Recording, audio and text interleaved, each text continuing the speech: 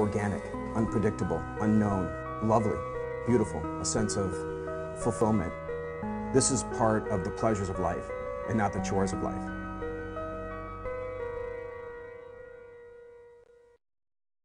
Coming up on Daily Iowan TV, what some local residents are trying to do to tackle the debt ceiling. Plus, we take a look at the UI's expanding online catalog. And in sports, why the Iowa softball team is getting in some extra practices months ahead of their season opener. That's all coming your way next. Daily Iowan TV starts now.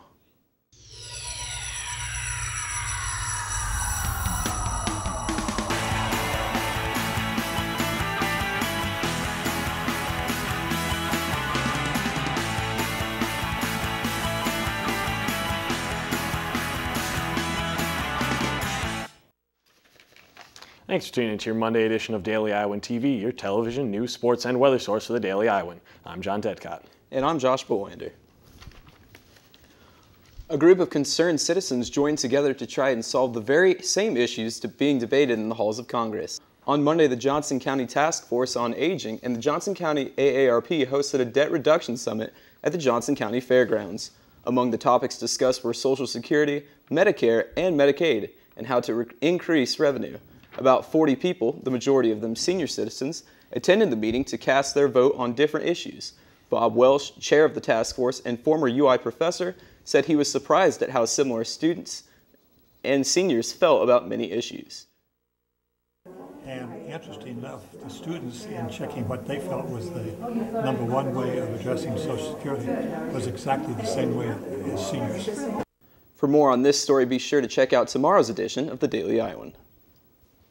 The Iowa City City Council held a special work session Monday to discuss changing the way the city approaches immigration issues. The Iowa City Human Rights Commission presented a plan that would encourage police outreach efforts among immigrant groups and increase access to city services for immigrants. In March, the council put a hold on plans to designate Iowa City as a sanctuary city, which would have prohibited employers from asking about an applicant's legal status. For more information and to read the councilor's reactions, be sure to check out Tuesday's pages of the Daily Iowan. On Monday, the murder trial started for an Iowa City teenager charged with killing a local landlord back in 2009. Daily Iowan TV's Emily Bussey is with Daily Iowan reporter Eric Moore, who sat in on the trial's opening day. Emily? Thanks, John. I'm in the Daily Iowan newsroom with Eric Moore. He was at the trial today. Just 17 at the time, now 19 year old Charles Thompson is accused of shooting John Versypt um, in an apartment complex that the landlord owned. Um, now, I understand there was some deliberation over some pieces of ev- evidence today. Can you talk a little bit more about that? Yes, there was a debate over a pair of blue jeans that were stained with blood and the testing that went behind that, as well as um, a ski mask that was owned by Charles Thompson. Okay, and I also heard that there are concerns that prosecutors gained evidence through illegitimate means. Can you talk a little bit more, bit more about that as well? The defense is contending that the state put a man named Carl Johnson Jr. into the same jail cell as uh, Justin Marshall, who's another um, suspect in the case uh, in the murder trial. Okay. And what can our readers and viewers look for the rest of the week as the trial continues? Well, the uh, selection of the jury will continue tomorrow. Um, hopefully, to have a full jury reached by then, and the trial will begin after that. Great. Thanks, Eric. And back to you in the studio. Thanks, Emily. And the Iowa House Committee on Education met on Wednesday to discuss changes to the state's K 12 education system. Although no decisions have been made yet, representatives discussed implementing a four-tier classification system to help track teacher progress. They also proposed raising the base starting teacher salary to $40,000 a year and expanding online course offerings and charter schools. The proposed plans will be evaluated again in October. And still to come on Daily Iowan TV, we take a look at why more students are learning outside the classroom. And in sports, we'll tell you why you shouldn't be too concerned with the football team's 2-1 start. But first, Daily Iowan TV's Scott Jones joins us in the studio for a look at your local weather forecast. Scott? Thanks, guys. It looks like we got another couple of great days ahead. Tuesday morning is going to be cool with partly cloudy skies and 59 degrees. It'll turn out to be another warm one though with a high of 75 in the afternoon. And in the evening we'll see a few clouds move in and it'll be a decent 62 degrees. In the extended forecast, not too much to make note of, but I can at least say that there won't be any rain anytime soon. We've got partly cloudy skies across the board. Things will get a little cooler as we get into Thursday and Friday, but at, by the beginning of next week, we should be back into the lower 70s. So luckily, it looks like we aren't going to be freezing just yet. Back to you uh, guys at the desk. Thanks, Scott. Over the last five years, the ways in which the university can offer classes has changed dramatically, but you might not be able to tell just by looking around campus. Earlier, I sat down with UI officials to go over the numbers and see just how and where UI students can pursue their degree. Students come to the University of Iowa for a quality education, but more and more they don't have to leave their bedroom to do it. Over the last five years, the UI has expanded the number of online courses it offers by nearly 500 percent. In 2006, the UI offered just 68 courses that took place fully online. This year, that number is up to 336. Inconvenient as they may be, officials say students should still think before signing up for online courses. This isn't the right format for everybody. So you need to think about whether this is a good way for you to learn or whether you need face-to-face, in-person contact with a professor. The UI is also using classrooms equipped with video conferencing and other technology to make the university more accessible to everyone. But what we're really looking at are students that would probably never be able to take advantage of a, of a traditional campus-based education. But no matter where they do their studying, underneath it all, they're all Hawkeyes. Both Ingram and Rozanka said they expect the UI's online options to continue to increase in the coming years. A car accident ends in one Iowa City man getting arrested for assaulting a police officer. The Iowa City Police Department received reports of a rollover on Cayman Street late Saturday night. When officers arrived on the scene, they found 26-year-old Curtis Smith bleeding profusely from his left shoulder. Smith moved towards officers and ignored orders to stop, apparently trying to attack the officer with his bloody shoulder. Officers were able to stop Smith and take him into custody before any harm was done. On Monday, President Obama delivered a much anticipated speech addressing the nation's debt crisis. The speech comes a week after the president laid out a jobs plan that encouraged more job training for young people. Obama's plan calls for $3 trillion in debt reduction through an effort that he said is fair to all citizens. We all know the feeling of getting forced indoors because of the rain, but usually they're our own doors. On Saturday night, 19-year-old Rachel Cantu was arrested after she allegedly broke into an apartment on Linn Street in search of some dry clothes. Cantu stole a shirt from the apartment, but left behind some wet pants and her purse, which had both her ID and cell phone. Security cameras show Cantu trying several door handles and entering four apartments. She is being charged with second degree burglary.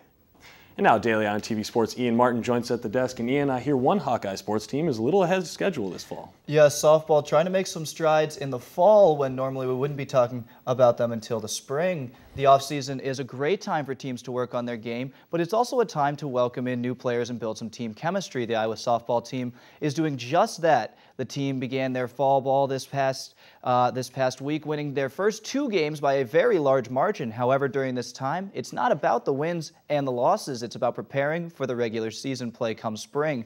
Not every team has the opportunity to compete in fall ball, so the Hawks are taking full advantage of theirs while rotating through different positions and getting batting practice against pitchers they've never faced. The girls are trying to improve while in integrating eight new faces to the roster. Our Kate Constable takes us to uh, Pearl Field for a little bit more about what this extra practice does for the team.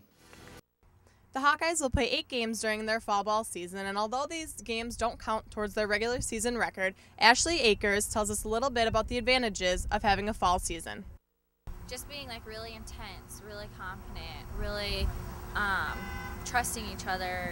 And if you want to check out Coach Marla Looper and the team before the spring season, you can catch them in person at their next fall ball home game, which is on September 30th. And after two less than perfect weeks for the Iowa Hawkeye football team, some, fan have, some fans have begun to doubt Kirk Ferentz and his coaching staff. But Daily Iowan TV Sports' Nick Robertson disputes that notion, arguing that if history can teach us anything, it's that fans shouldn't be so quick to hit the panic button. After a rocky start to the 2011 season, the Iowa Hawkeye fan base has started to hear claims that they haven't heard since 2007 when the Hawkeyes finished 6 and 7 and failed to go to a bowl game. Those claims are fire Kirk Ferentz. But before you start to grab your torches and pitchforks, it'd be good to take a look back into history. Four different times in Kirk Ferentz's career at Iowa, he has lost in the opening weeks of a season and then led the team to a top-tier bowl game.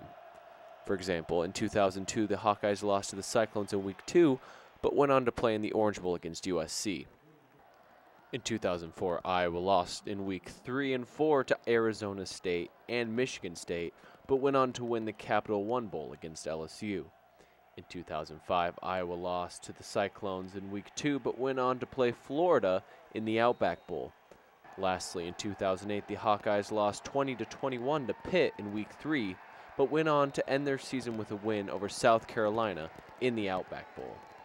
So before you send Kirk Ferentz packing, take a look into history, and if we can take anything away from Kirk Ferentz's time here in Iowa City, it is this. Uh, failing is, is education, and if it is, then then yeah, there is some benefit, but uh, there's not much fun about losing. There's not much fun about uh, you know leaving the door open, and uh, and when you do that, typically you lose. So you know if, if we're not learning, if we're not moving forward, then it's gonna be shame on us.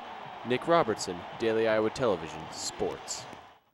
Thanks a lot, Nick. And staying with the gridiron, two extra notes on Iowa football early on in the week. First, James Vandenberg was named the Big Ten Offensive Player of the Week after his three fourth quarter touchdowns in the largest comeback victory for the Hawkeyes since 1949. The junior from Keokuk, Iowa also threw for 399 yards in the 31 27 win over Pitt, including completing 17 of his final 20 passes. But while the offense is receiving recognition, the defense is losing a veteran. The team announced today that senior linebacker Bruce Davis is leaving the team for personal reasons, despite seeing action in all three games so far this season. Davis served as the backup to sophomore James Morris while playing middle linebacker, and he had recorded four assisted tackles in the young season. Davis won't be leaving the UI, though. The senior is still slated to graduate in December. That's all for sports. Well, I hate to lose a player, but Vandenberg definitely earned that honor this week. Yeah, certainly so. Thanks, Ian. And only with Daily Iowan uh, TV can you get a sneak peek at Tuesday's pages of the Daily Iowan. Read about local politicians' reactions to Obama's debt reduction plan, plus take a look into the mind of the Iowa golf team. And before we go, here's one last look at your tomorrow's weather forecast. Tomorrow will be another great day, partly cloudy skies with a high of 75 degrees. And that's your latest edition of Daily Iowan TV. Be sure to check us out at the same time tomorrow or anytime online at dailyiowan.com. For Daily Iowan TV, thanks for watching. Have a great day.